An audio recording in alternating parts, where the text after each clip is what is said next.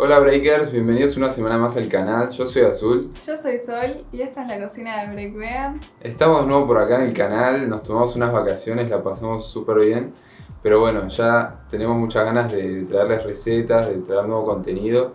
Y hoy les traemos una receta que es increíble. Sí, hoy les vamos a enseñar a hacer zapallo relleno, que es una receta que nos encanta y hacemos bastante seguido porque la verdad que es buenísimo porque lo haces una vez y queda comida para varios días, así que eso está re bueno. Sí, aprovechen cuando está el zapallo de estación, que es súper abundante y rico. Y también eh, lo pueden hacer con calabaza en caso de que les guste también. Y bueno, Breakers, si son nuevos en el canal, ya saben que se pueden suscribir y activar la campanita para que no se pierdan ningún video. Y ahora vamos a ver cómo se hace esa receta. Vamos a comenzar cortando nuestros zapallos. En este caso nosotros vamos a cortar dos porque no eran demasiado grandes. Tengan cuidado acá para no cortarse y usen un cuchillo bien afilado. Después de cortarlos vamos a sacar un poco las semillas con ayuda de una cuchara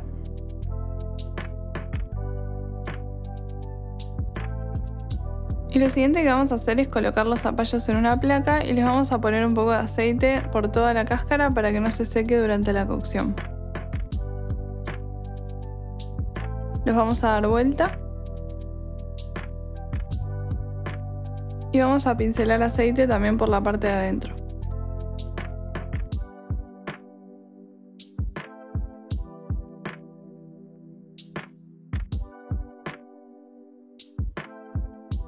Vamos a ponerles un poco de sal a gusto y los vamos a llevar al horno hasta que estén bien blanditos. Mientras tanto vamos a poner a hervir un choclo mediano y lo vamos a cocinar durante unos 10 a 15 minutos. Una vez que esté listo lo vamos a desgranar con ayuda de un cuchillo y lo vamos a reservar para más tarde. También vamos a poner a hidratar una taza de soja texturizada y le vamos a agregar agua caliente hasta tapar. Lo vamos a dejar reposar unos 10 minutos. Lo siguiente que vamos a hacer es cortar una cebolla mediana.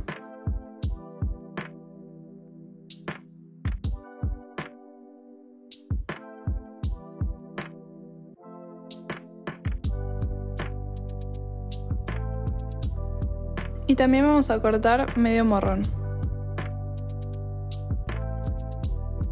Picamos un diente de ajo. Y vamos a colocar todo en una olla con un poquito de aceite.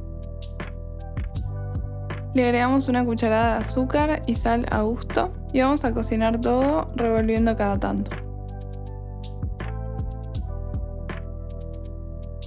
Una vez que está bastante cocido, agregamos un poco de nuez moscada, pimentón, ajo en polvo y un poco de jengibre en polvo. Vamos a revolver y a seguir cocinando unos minutos más.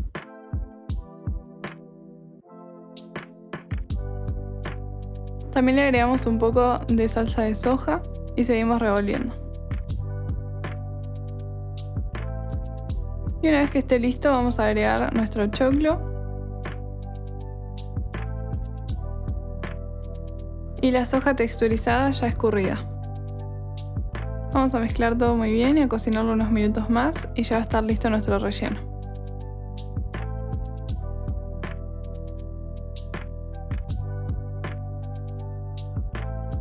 Y una vez que los zapallos estén bien blanditos, vamos a ir rellenándolos de a poco.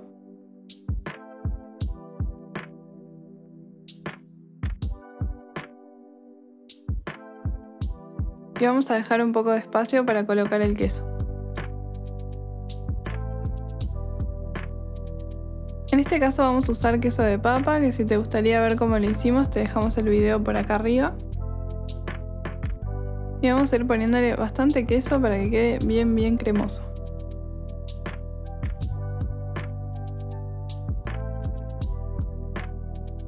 Y vamos a llevar nuestros zapallos al horno durante unos 20 minutos más aproximadamente para que se caliente todo. Una vez que está listo lo vamos a colocar en la parte de abajo del horno para que el queso se gratine. Esto es importante que lo cuides bien porque son dos o tres minutos nomás, si no se te va a quemar. Y por último le agregamos un poquito de orégano por encima. Y ya está listo nuestro zapallo relleno para disfrutar. Mirá qué lindo que quedó. La verdad que es súper, súper cremoso y rico.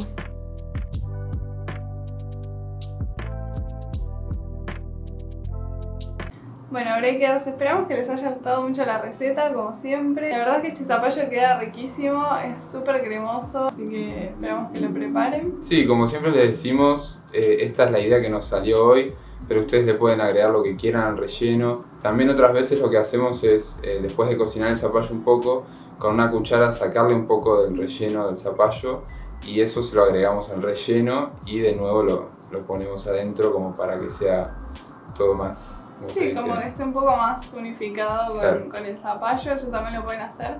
Ayer justo no, quisimos hacerlo así sin ahuecar el zapallo, pero ustedes háganlo como más les guste.